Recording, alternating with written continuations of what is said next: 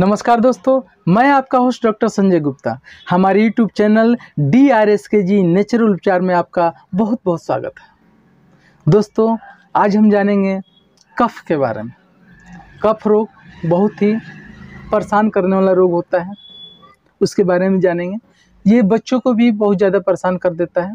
जैसे आयुर्वेद में वात पित्त कफ के बारे में जाना जाता है। इसी तरह आज हम जानेंगे कफ रोग के बारे में। कफ रोग देखा जाता है तो हमारी जो फेफड़े होते हैं, हमारी जो पसलियाँ होती हैं, इसके ऊपर के जो रोग होते हैं, ये अर्थात गले के रोग को ही हम कफ रोग कहते हैं। कफ रोग फेफड़ा और गले से रिलेटेड होता है, जो कि दिमाग पे, सिर पे बहुत ज़्यादा असर डालता है। दोस्तों तो इस कफ रोग को ठीक करने के लिए हमारे पास अनेकों घरेलू नुस्खे हैं, जिसमें से कुछ नुस्खे मैं आपको बता रहा हूँ, जो कि रामबाण नुस्खा है। जो आपको फ़ायदा ही फ़ायदा करेगा दोस्तों, इसमें क्या होता है? कफ रोग में खांसी, सर्दी, जुकाम, बुखार, हार्ट से रिलेटेड, फेफड़ों से रिलेटेड, गले से रिलेटेड तथा माइंड से रिलेटेड रोग आ जाते हैं। तो इसलिए हमें कफ रोग को, यानी कफ को बैलेंस करके रखना है। जब हमारा वात, पीत, कफ ये तीनों बैलेंस में रहता है तो हमारे पास रोग नहीं आते हैं। हम बीमार नहीं पड़ते हैं। स्वास्थ्य से बड़ा धन कोई नहीं है। अगर आपके पास सब कुछ है और स्वास्थ्य नहीं है तो सब कुछ बेकार हो जाता है।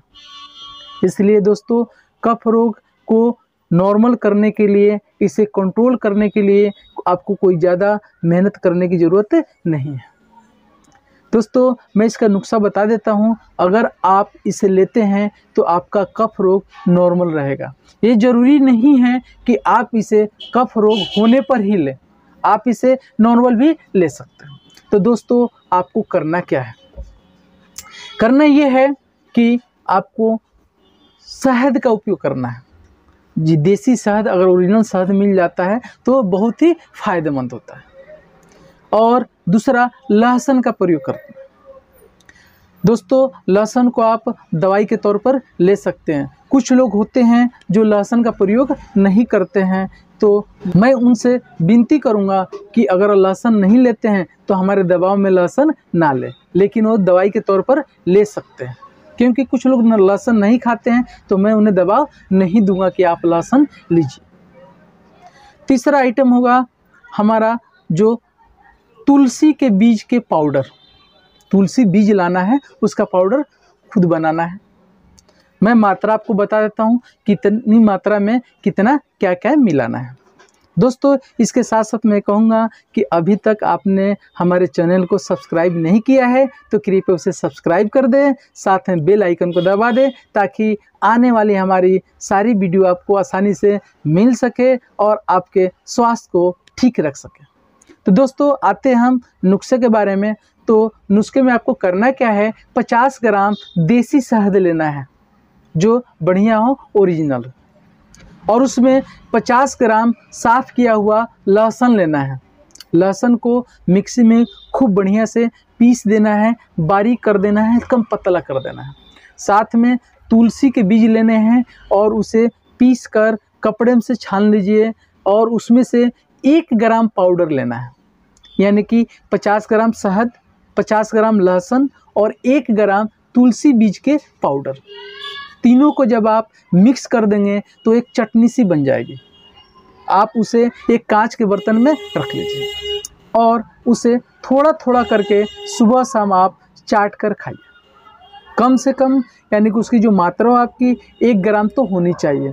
एक ग्राम से तीन ग्राम तक आपको नुकसान नहीं करेगा।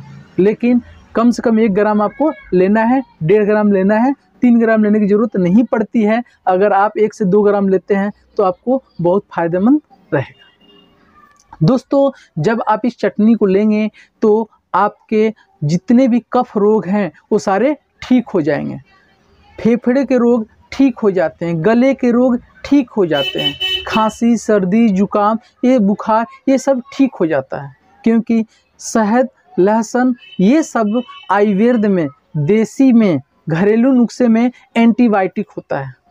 ये बहुत बढ़िया एंटीबायोटिक होता है, जिनका कोई साइड इफ़ेक्ट नहीं होता है। तो दोस्तों, इसे आप सुबह शाम ले सकते हैं, कुछ देर बाद आप गुनगुने पानी पी सकते हैं।